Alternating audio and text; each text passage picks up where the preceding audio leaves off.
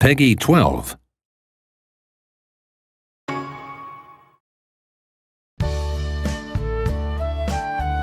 I'm Bertrand, a protector.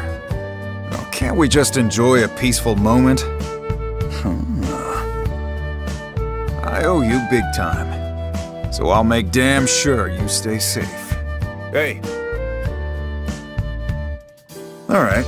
Good to meet you. As you can tell, we're a harmless duo. Whose bright idea was it that protectors have to be on the front line? Times like these are when you gotta stay calm. You better stay back. Got some healing for you. You better stay back. Gotcha. Take it personal.